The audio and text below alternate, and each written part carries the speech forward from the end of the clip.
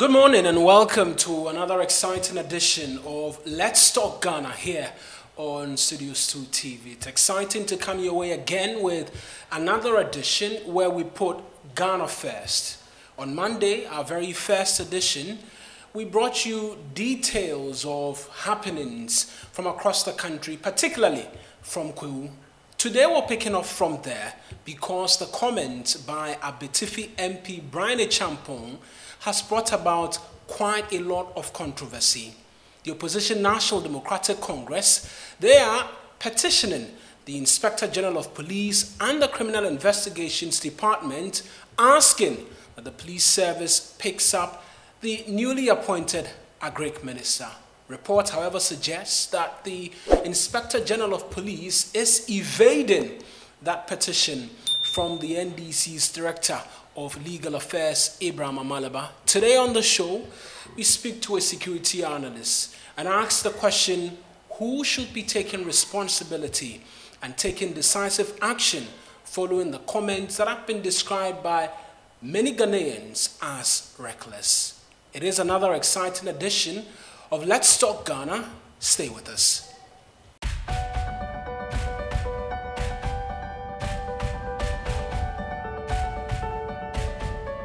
So you're welcome back to Let's Talk Ghana here on Studios 2 TV. I am your host, Eric Mawina Egbeta. Let's Talk Ghana airs every Monday, Wednesdays, and Fridays. So do make a date here on your channel, Studios 2 TV on YouTube, and catch details of it as and when it airs. Like I was mentioning, last Monday when we aired the very first edition of the show, we kicked off in Kwahu, where there was a unity march by the governing New Patriotic Party, which was graced by the Vice President, Dr. Mahamudu Bawumia. The General Secretary of the NPP was present as well, but so was the newly appointed Agric Minister, Bryan Acheampong. He's also Member of Parliament for Abetifi.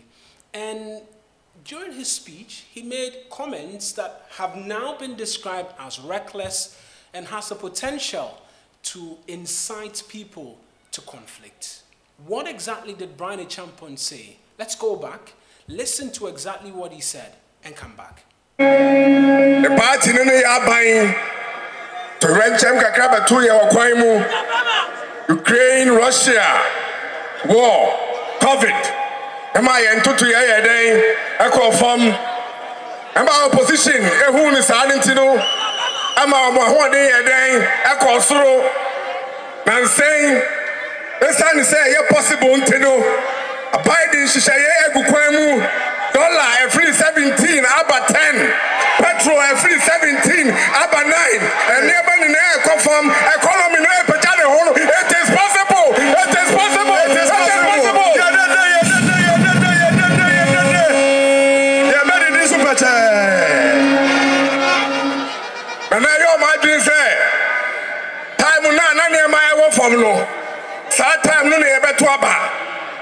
àmì iṣẹ́ kọ́ ọmọ ẹ̀ bọ̀ ṣẹ́ ìsìn region bọ̀ ẹ̀dùn June July this year.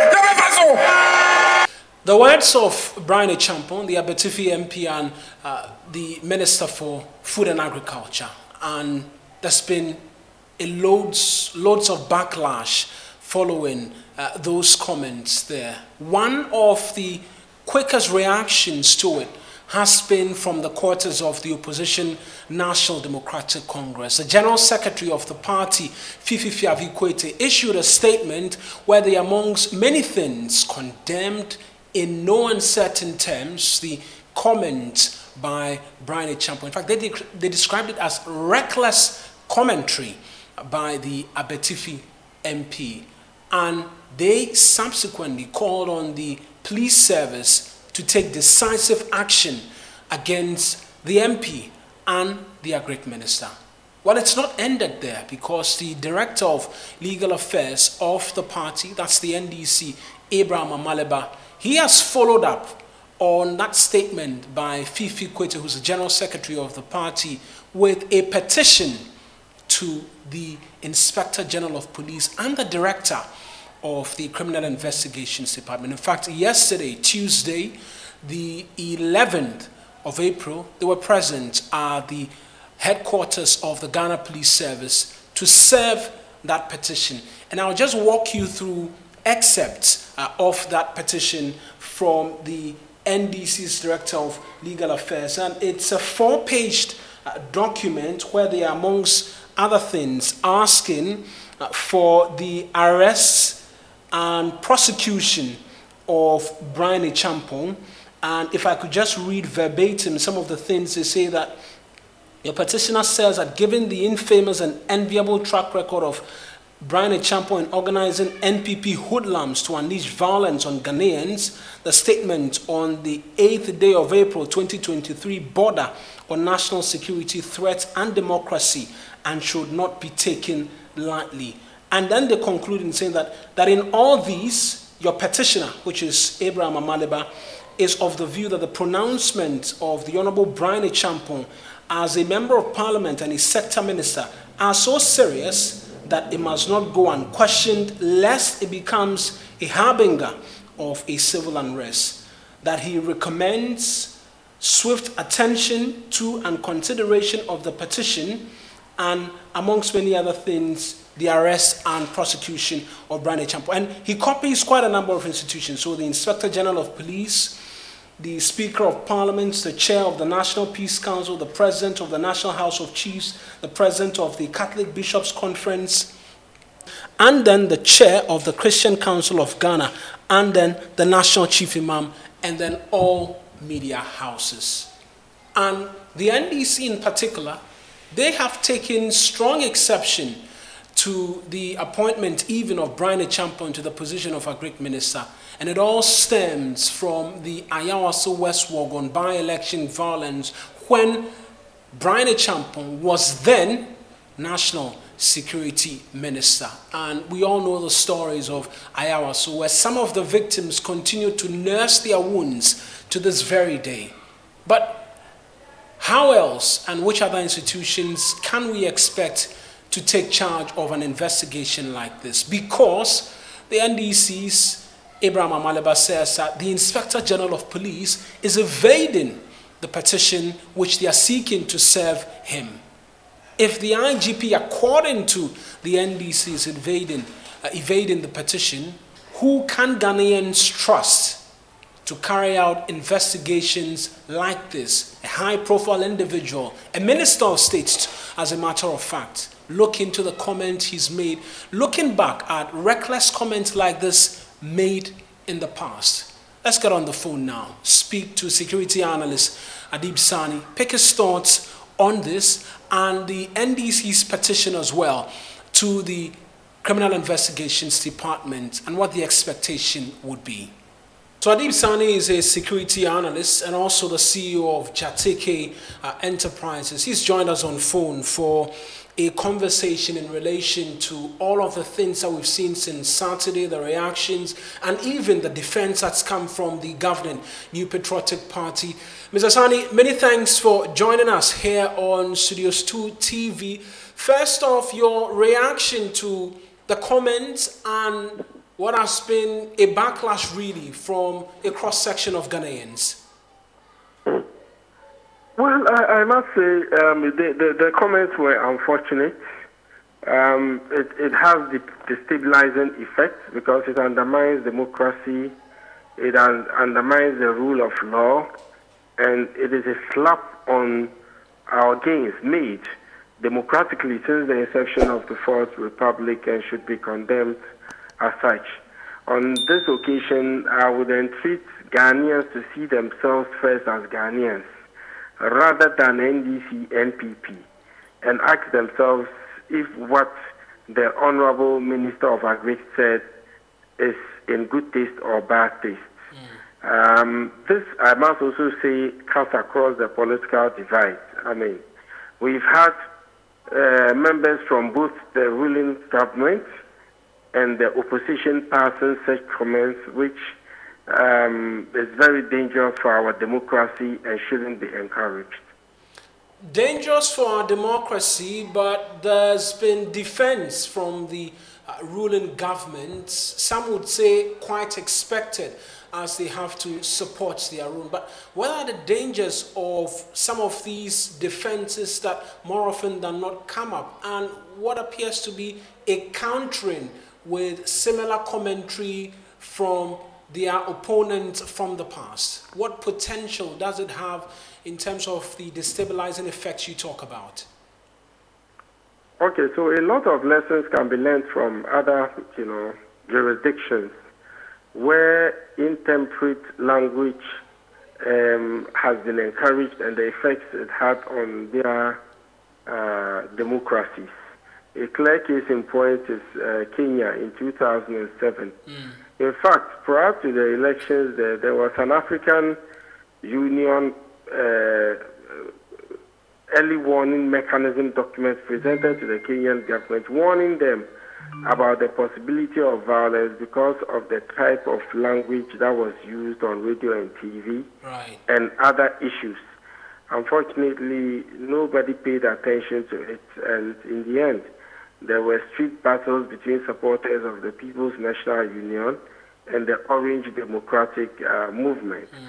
Same can be said about the Ivorian crisis between 2010 and 2011 when firebrands such as Charles Blé Goudé, the, the, the, founder of the Young Patriots, in fact, he's also known as the street general.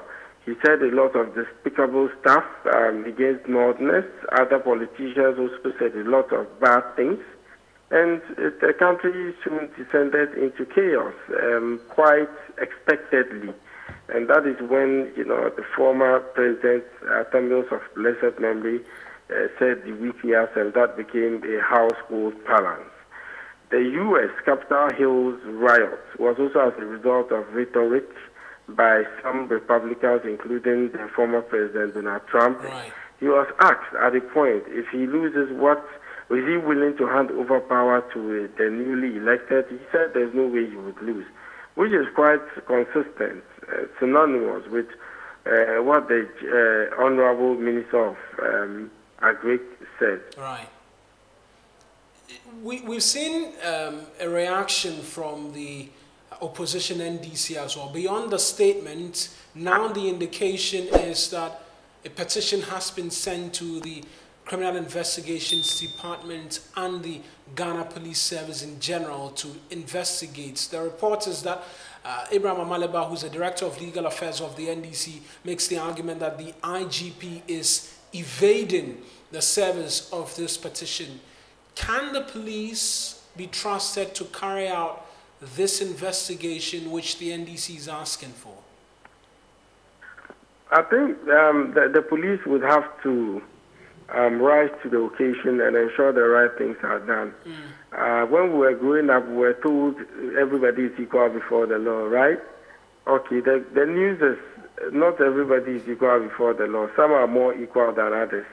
There are privileges so far as the legal scheme of things is concerned in Ghana.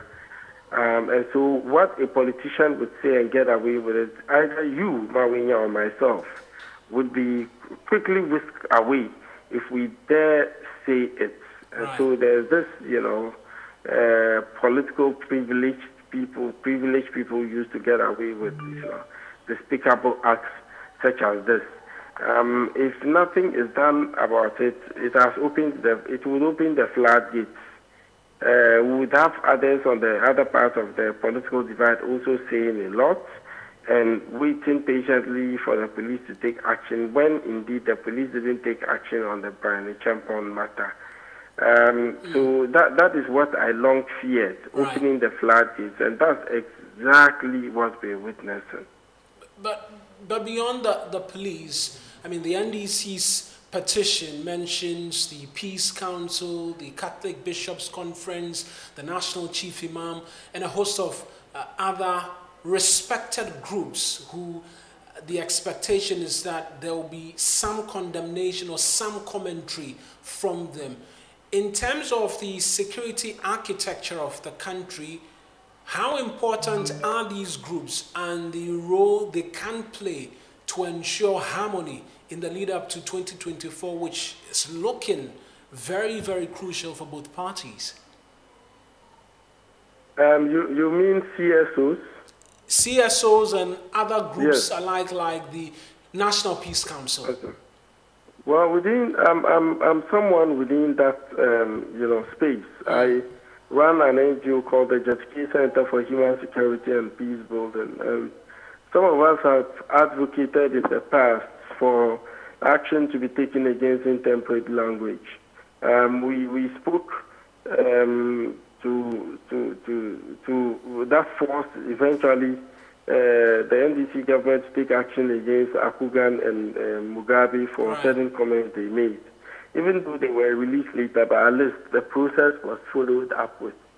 Um, I think apart from that, we have had many, many other cases nobody has shown interest in until just recently when an NDC executive in a constituency the, in the, the Ashanti region case where arrested for passing some unsavory comments. You know, uh, comments. So I think it is it is welcoming. However, in the midst of all this, and not a single big fish, who are those more responsible for this, is, is not arrested. So it makes you wonder whether really uh, we mean business.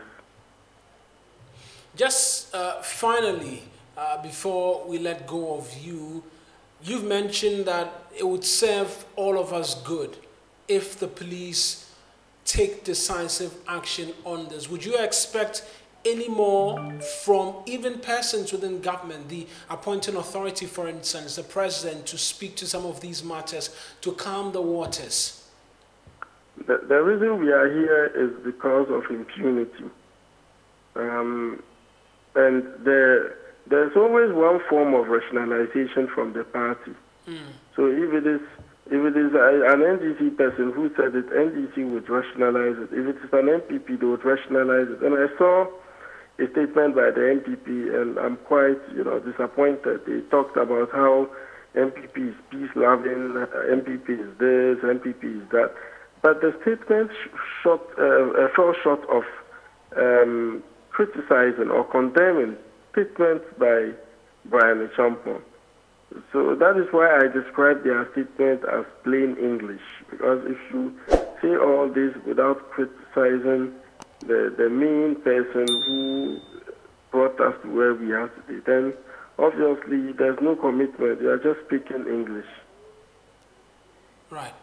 Mr. Sani, I appreciate that you could speak to us, and I'm sure it's a subject matter that will come to you a lot on subsequently. My pleasure always. That security analyst, Adib Sani, is also the CEO of Jatikay Enterprise, speaking to us uh, this morning on Studios 2 TV, Let's Talk Ghana.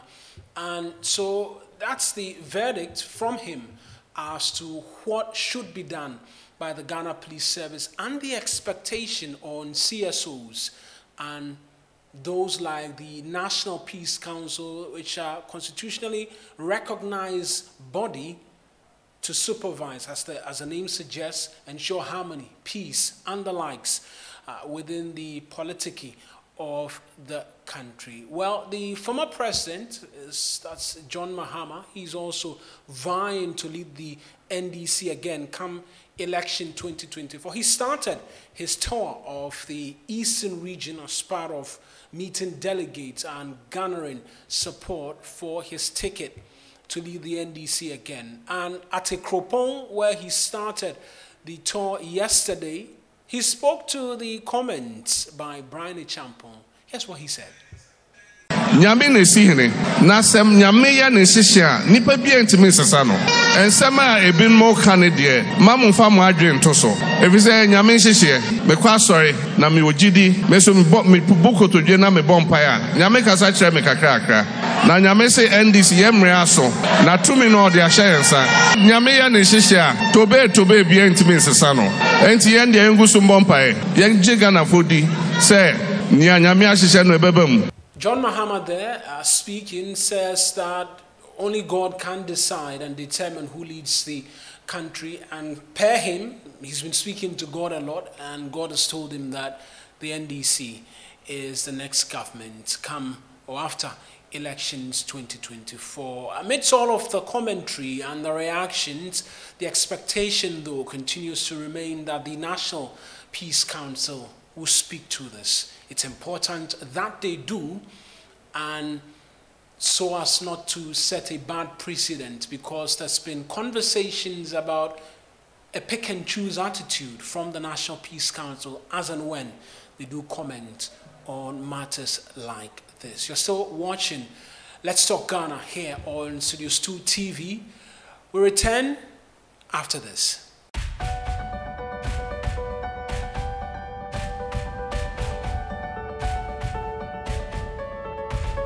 Welcome back to Let's Talk Ghana here on Studios 2 TV on YouTube. You can catch us as well as on Facebook. Let's Talk Ghana airs Mondays, Wednesdays, and Fridays. In the comment section, both on Facebook and on YouTube, leave a comment for us as to exactly what's been happening. What you make of the Bryan Acheampong comments? Are you one who backs him and makes the argument that there have been comments like these in the past and as such a big deal must not be made from it? Or you support the petition from the NDC? Let us know in the comment section.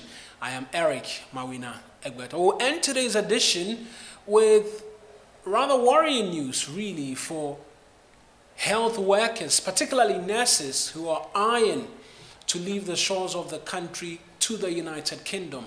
That's because the UK government has added Ghana to a list of 54 countries where they will no longer actively seek to recruit health professionals from. We know that all throughout the argument and the practice has been that we continue to see a lot of brain drain where nurses leave the shores of the country. In fact, the health minister has attempted to speak to nurses at a forum and they openly uh, stated their disagreement with him as to wanting to stay here in Ghana and serve after their education. Well, that for many of these Ghanaian nurses is going to be a lot more difficult now because Ghana has joined countries placed on the red list of no active recruitment by the UK government. Ghana joins countries like Afghanistan, Nigeria, Mali, Malawi, and a host of others. The question really, though, is what happens to plans by the Ghanaian government to export health workers to the UK? That has been a major plan by the current administration in the face of the continuous rise in numbers of brain drain on the health front. What will be the negotiations going forward, particularly from this health minister, Kwaku Agyeman-Manu, who has made it a point that they're seeking to structure the process so that the Ghanaian government benefits from exporting nurses to the United Kingdom and a host of other countries. With this new ban coming from the UK government, that ban, however, is informed by a WHO list as far back as March, uh, not really far back, but in March, where Ghana and 54 other countries were put on the World Health Organization's Health Workforce Support and Safeguard List 2023. Essentially, the argument is that not enough health workers present, but interestingly, we train nurses and they graduate in their numbers every year but because of financial clearance, we're not able to post all of them. The questions will continue to rise, and we'd like to hear from you nurses some who are taking licensure exams and uh, getting certificates, readying themselves to fly out of the country. What becomes of all of those plans? Leave a comment for us. We'll do the reading for you when we return on Friday on Let's Talk Ghana. I am Eric Mawina Egbeta. Glad that you could be a part of us. Let's meet again on Friday.